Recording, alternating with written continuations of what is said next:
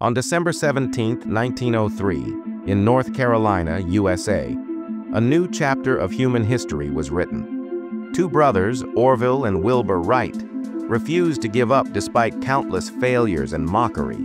Working day and night in a small workshop, they built a strange-looking machine made of wood, fabric, and wires, which they called the Wright Flyer. That cold morning, Orville started the engine and took off for just 12 seconds, flying 36 meters. But that brief moment changed the world forever. The first controlled flight in human history had happened. From that day on, the sky was no longer only for birds.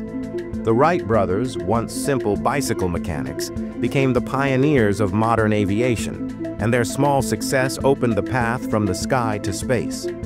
Their story reminds us that determination, patience, and hard work can turn the impossible into reality.